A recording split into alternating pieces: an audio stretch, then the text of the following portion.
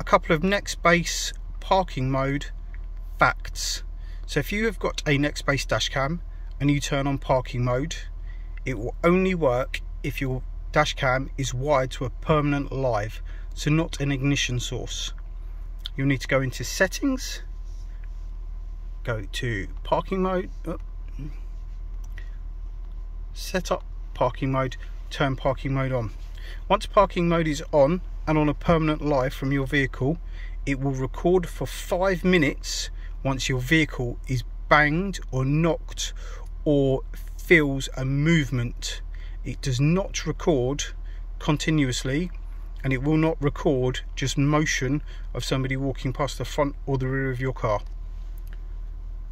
Once you've set parking mode, you'd want to turn your screensaver on. This just to help save a bit of battery and it just keeps the screen of your dashcam dark. Another thing you want to do is go into your video settings, setup, video settings, go to G sensor and turn that on to high so it then picks up any knocks or bumps.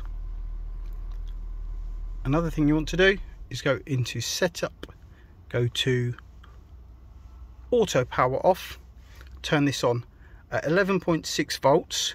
Your dashcam will cut out and it won't record anymore and it will save power. And this will also turn your dashcam off once you've finished a journey. So there you go. A few settings that you need to set up on a Nextbase hardwired dashcam to get parking mode. I hope you found this video useful. Don't forget to subscribe. Check out my other videos for more Nextbase tips and tricks